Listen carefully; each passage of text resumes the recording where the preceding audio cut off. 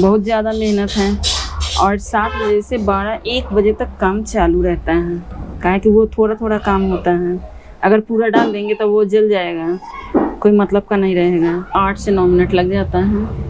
आधा किलो आधा किलो पाँच सौ ग्राम डालते हैं। आठ से नौ मिनट लगता है। एक कढ़ाई में। तो ठंडा किया जाता है, फिर उसको परत के परत उठा के बर्तन में लगाते हैं। थाली में, ट्रे में, शक्कर ना के बराबर हल्का डाला जाता है उसमें। खोए में तो इकट्ठा डाल देते हैं। लेकिन मेरे यहाँ की परत बाय परत लगा, इसके बाद उसमें शक्कर हल्के से धुड़का जाता है। इलायची डलती है।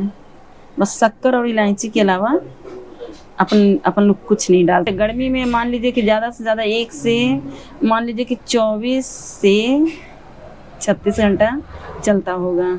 नहीं है आसान तो नहीं है। कोई ना कोई कमी निकल जाते हैं। सावधानी यही रखनी पड़ेगी कि वो आग से जल ना पाए। बस और कोई ज़्यादा सावधानी नहीं है।